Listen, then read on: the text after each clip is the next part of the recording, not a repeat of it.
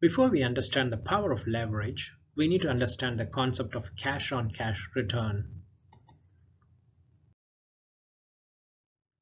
Let's say Dr. Mom buys a single family home for renting, paying $100,000 in cash. The rent for the home is $1,000 per month. The total cash flow per year is the difference between income and expenses. The income in this case is the rent paid, which is $12,000 per year. Since she paid for the property in cash, she does not have any mortgage expenses. She'll spend about $4,000 on property tax, insurance, and property management. Her total cash flow on year one is $8,000, which is $12,000 minus $4,000.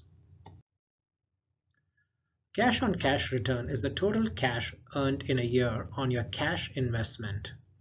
Dr. Mom invested $100,000 in cash and earned $8,000. Her cash on cash return is 8%. Not bad, but not great either. Let's see what happens when she uses leverage. She buys the same property for $100,000, but this time she gets a mortgage from the bank for $80,000 and puts $20,000 of, of her own money. Now she has an additional expense of $4,000 for mortgage payment. Therefore, her cash flow is $4,000 per year, which is less than if she had bought the property with cash. What happens to her cash on cash return? Even though she had only $4,000 of cash flow, she put in only $20,000.